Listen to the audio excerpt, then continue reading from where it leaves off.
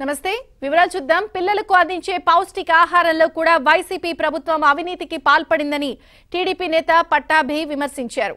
పిల్లలు తినే చిక్కీలో కూడా జగన్ రెడ్డి కక్కుర్తి పడుతున్నారని ఆర్థిక ఉగ్రవాది ఆర్థిక నేరస్తుడు సీఎం అయితే ఎలా దోచుకుంటారో అనేందుకు జగన్ రెడ్డే ప్రత్యక్ష ఉదాహరణ అని పట్టాభి వ్యాఖ్యానించారు.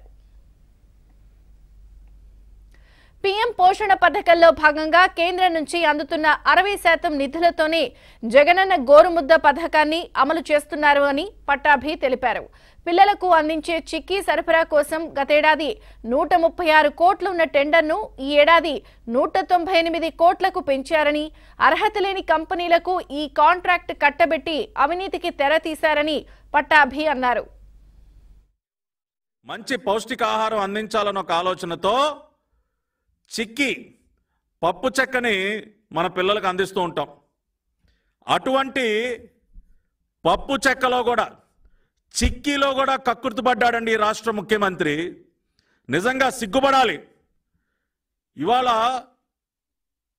పాఠశాలల్లో విద్యార్థులకి మంచి పౌష్టికాహారం అందాలి అన్న ఒక ఆలోచనతో ప్రారంభించినటువంటి ఈ చిక్కీ సరఫరా ఏదైతే ఉందో ఈ చిక్కీలో కూడా కక్కుర్తుపడటానికి ఏమన్నా కొద్దిగా అన్న సిగ్గుందా అసలు ఈ ప్రభుత్వానికి? ఇవాళ జగనన్న గోరుముద్ద అని పేరు పెట్టుకున్నటువంటి పథకం కేంద్ర ప్రభుత్వ సహకారంతో నడిచేటటువంటి పథకం. దీన్ని పిఎం పోషణ్ అంటారు. దీనిలో అరవై శాతం నిధులు కేంద్ర ప్రభుత్వం నుంచి వస్తే కేవలం నలభై శాతం మాత్రమే రాష్ట్ర ప్రభుత్వం నుంచి పెడుతుంది. అయినా కానీ జగనన్న గోరుముద్ద. కేంద్ర ప్రభుత్వం అరవై శాతం నిధులు ఇచ్చి నడిపేటటువంటి పథకానికి ఈయన గారు ఏదో ఈ జేబులో నుంచి డబ్బులు పెడుతున్నట్టు జగనన్న గోరుముద్ద. దానిలో ఎందుకు గోరుముద్ద? ఇగో ఇలా తినేయడానికి మొన్నటి వరకు పిల్లల దగ్గరికి వెళ్ళి నేను మీ మేనమామని మేనమామని మీకోసం చాలా కష్టపడుతున్నా.